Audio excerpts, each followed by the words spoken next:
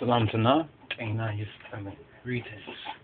Ine Ras Iadonis Tefarine. Melkam Vedeta Lij Tefari Adarasachu. May you have a beautifully and hopefully you've had a beautifully good 119th HIM His Imperial Majesty Kamal Haile Selassie Earth Day. This is the 119th, actually the end of that, and we're going into the Ihud. Ihud is the first day. Now, from a previous recording that we didn't get to post up, that we have reflected right here. Let's get out the way for a moment, and reflected right here is the um, Mezmure Dawit, the Mezmur, the Mezmur Dawit, Psalm 144. Psalm 144. And we're going to teach on this particular um, psalm because this psalm is known as the psalm for the ending. the ending or the termination, the fulfillment of the Sabbath or of the Senbet. And we also touched on the Targum or the Targum, so forth and so on. Now, the reason why this is particularly um, important to us at this particular point in time is because this um, 119th Earth Day or Earth Strong of His Imperial Majesty or of the Son of Man of Lij Teferi, Lij Teferi Mekonnen, otherwise known as Lij Tefari Mekonnen, has occurred, has coincided with the Sabbath day, the Shabbat day, or the Senbet day. And this means in our Hebraic order of of calculation of time that this means it's a very special this is a this is a very special um, Sabbath day or, or Senbet day because of the correspondence because it's correspondence with the Sabbath day. And there's a psalm, there's certain psalms that are to be recited on the Sabbath day. And this particular psalm right here, Psalm 144, is a psalm that is appropriate for the conclusion, the ending or the termination of the remembrance of the Sabbath day and it's called it's called uh, joy in God's protection, joy in God's protection. And we just want to share a little bit of this and move on to another particular teaching um, as well. But we didn't want to pass by and not say a few words about the appropriate psalm that is to be um, read or more appropriately chanted for the termination of the Senbet Day to give the brothers and the sisters a little bit more of a background and a little bit more insight into the appropriateness of this particular psalm. Now, this psalm here is a joyous psalm, Psalm 144, and it's largely of uh, a mosaic of citations. It's considered to be a mosaic of citations from other psalms. In other words, it has various various quotes and and passages from other particular psalms. Um, to the title of David, um, the LXX it adds against Goliath or against Goliath, and the Targum, the Targum as we put up here, um, the Targum, right? which means the Targum, in, according to the Ashkenazi um, pronunciation, the white Jewish pronunciation says Targum. According to the Ethiopic, we say we say uh, ter me or me. But most Ethiopians today will say tergum, but actually this is a gue, tergum, tergum, tergum, right? Um, this uh, the Targum or the Targum, it sees in in verse uh, 10 a reference to this Philistine, the Philistine, the Philistine, Mawion's hurtful sword, or the sword of Goliath. So in the King of Kings, in the in the Metaf Kedus in the Bible of His Imperial Majesty, it's known as Sile Goliath. or concerning Goliath. And this is also revised, the revised um, first edition of the Mizmor Dawit that we hope to have published within about a week or so, and we'll bring more word on that when we have that particular book um, available. Um, which will be going into some of some of this will be also um, referred to in that particular volume. But this particular psalm here is considered to be of a composite character of the psalm, and there are Aramaisms or the Aramaic Aramaic expressions. There's a mention of David or Dawit as a person other than the writer. So all of this is suggestive that the superscription within the King James and even the Jewish Bibles is to be understood in the Davidic style or the Davidic school, according to the Davidic school of the psalmists or of psalm writers. But in the Amharic, it's very interesting because in the Amharic it says Sile concerning Goliath. And it doesn't really agree with the King James or with the, the Masoretic. But we have to recognize that Septuagint and the Ethiopic um, scrolls are older and more accurate than the so-called Masoretic or the Textus Receptus, and therefore also older and more reliable than the King James Version in many um, details and much of the attention to details. But now in the Hebraic uh, liturgy, or the so-called Jewish liturgy, it, pref- it, it prefaces or prefaces the service for the termination of the Shabbat. So this psalm is used as a as a mekdim or a preface for the particular service that certain Orthodox Jews conduct for the termination or the ending of the Sabbath day.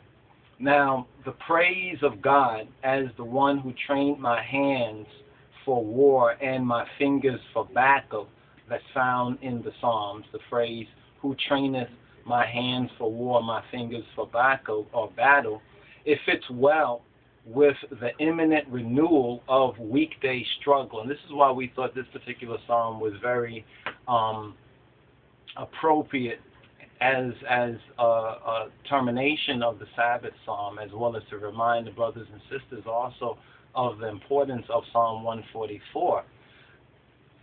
The converted Jews have understood this. The, the, the Chazars, Ashkenazis, and other Jews have understood this, and therefore we as ethnic Hebrews, as we are once again grafted in to our to our own vine tree, as we are, as there's been others who are not part of the true Hebraic vine who have been grafted in, and we from our ancestors have been broken off, and now we're being regrafted into our own vine tree. In other words, to where we belong, it's important for us to start to recognize important elements of what we have lost.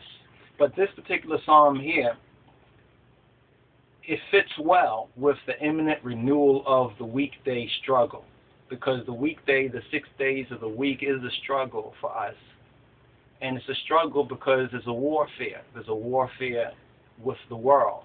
And this psalm, it prepares us for that battle, that battle to, to profit and to overcome for the King of Kings and his Christ in order that our Sabbath and sabbatical time can be truly one of, of rest and uh, reflection and joy in Torah, in the Orit, in the Word of God, and in one another who are in the King of Kings and in his Christ. So it, it, it builds up the individual as well as the community. Now, after the Sabbath calm, after the calm of the Sabbath, comes the intrusion of the world. And many of y'all may have noticed this too.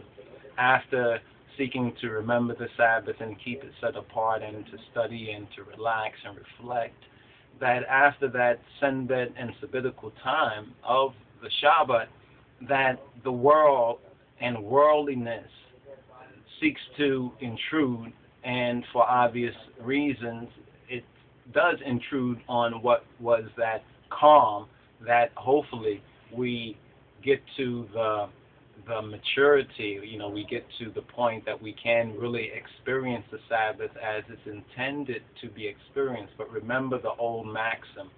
The old maxim is that practice makes perfect. So as we practice, we will perfect. So when the Master said, Be ye perfect, therefore it's a matter of study and it's a matter of practice. But moving forward, after the Sabbath comes the intrusion of the world, against which this particular psalm, which is Psalm 144 that we have highlighted right here, Psalm 144, it proceeds to invoke God's protecting hand, to seek to invoke God's the right hand or Yah. Yah. It seeks to, which, which we touched on before, that right hand and, and the whole the whole um, symbology of even the Hebraic um, Yod and the Ethiopic Yemen is the right hand. So this psalm it invokes Yah's protecting hand, while the joys of a full garner and an overflowing sheepfold are those to be attained by the labor which is once more man's lot. So it is our lot to work because the Bible says that he who does not work does not eat. So these are important things for us to learn, especially here in the wilderness of North America, the Americas, and the Caribbean. These are important things for us to learn. So when we do come together as a community, the community itself can be self-sustaining. The community can be prosperous, and the community can be assigned to others in the world of the true grace and the blessing of the King of Kings and his Christ. So it's important for us to learn the example and to practice and perfect the example so that we can be examples and exemplars for others. And this is the true vision of Yahweh and the Mashiach, of Yahweh and his Messiah. But as the psalmist continues, whatever comes to man in his warfare is of God's doing. In other words, our six days of the week is warfare with the world. It's warfare with the world for the sake of Yahweh and His Messiah, and for the sake of our brothers and sisters within the family of God in Christ. So as we work, we ought to profit, we ought to prosper, and we ought to go after the profit and the prosper, walking that righteous way, and, and not to feel as though it is something wrong to think about working and overcoming and to prosper and, and, and, and to profit by it as something wrong. It is not. But the reason why many who do work, and there are a lot of hard workers, y'all might be hard workers, but there's a saying that there's no rest to the wicked. And it is wicked to avoid to remember the senbet and to keep it set apart and to keep that day as a rest day. So this is the example of the Sabbath both for us as well as for others. But it's important that we study and show ourselves approved and that we rightly divide and rightly explain the word of truth. And this Psalm 144 is an ideal psalm for the ending of the sabbatical time and the beginning of the weekday of the weekday struggle. But we must remember that whatever comes to us in our warfare, because it's warfare. In other words, some look at work as work, but we look at work, whatever work, whatever our occupational work, as Hebrews, to be warfare, especially vis-a-vis the sabbatical time. So the Sabbath is that calm, is that rest, is that relaxation, is is that recharging and this psalm now is like a door. It, it, it helps to to initiate the next stage of the cycle, which begins from Ehud, which is called Sunday. And Sunday, Ehud is the first day. And it's on the first day that in community we would gather together after the remembrance and the keeping of the Senbet, the Shabbat, holy and, and, and set apart.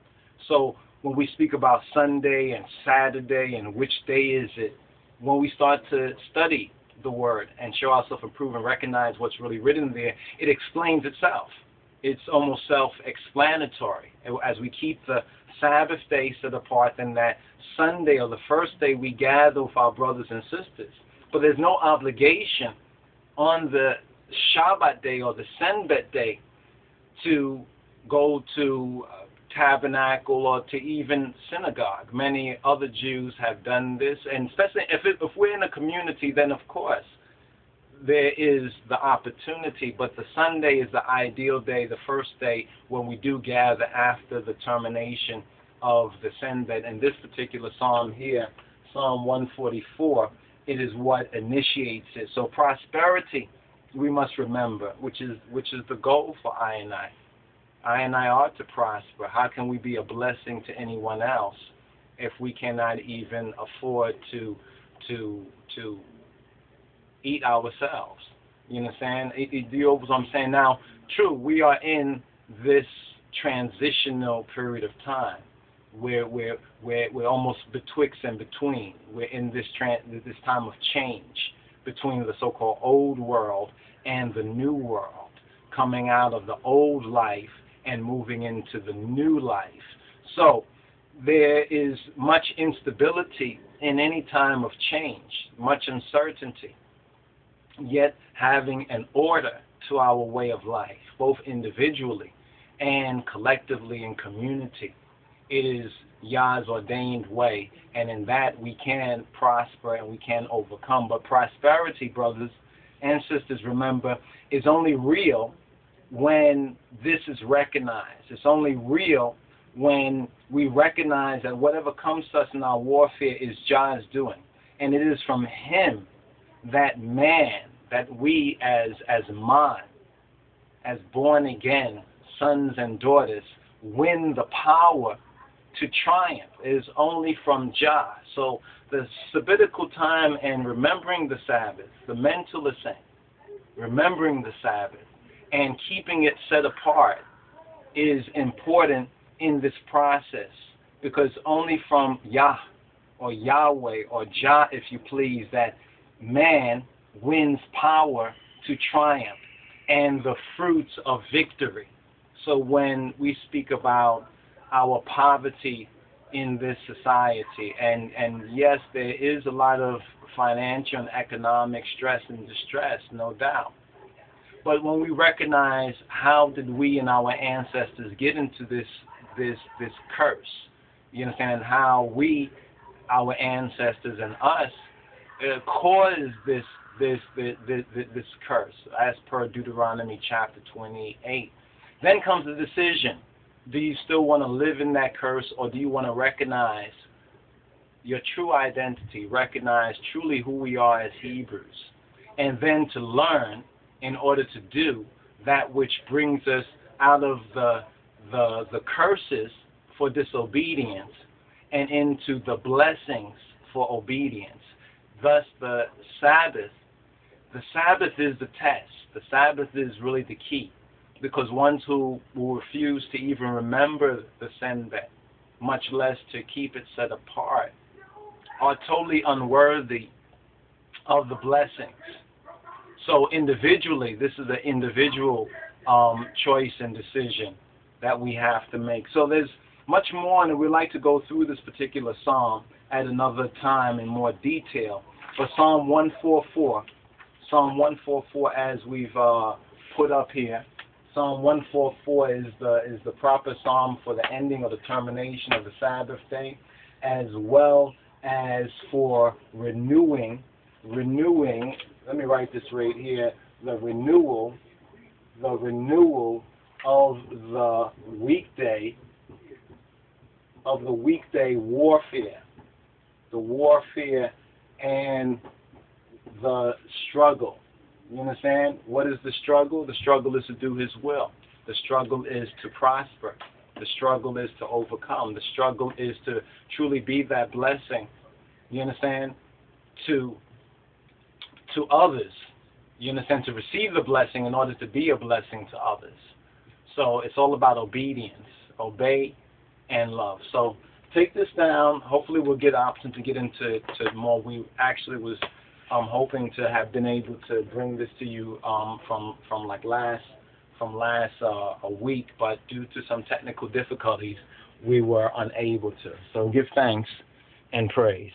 And once again, Melkam ልደት ልጅ ተፈሪ አደረሳችሁ።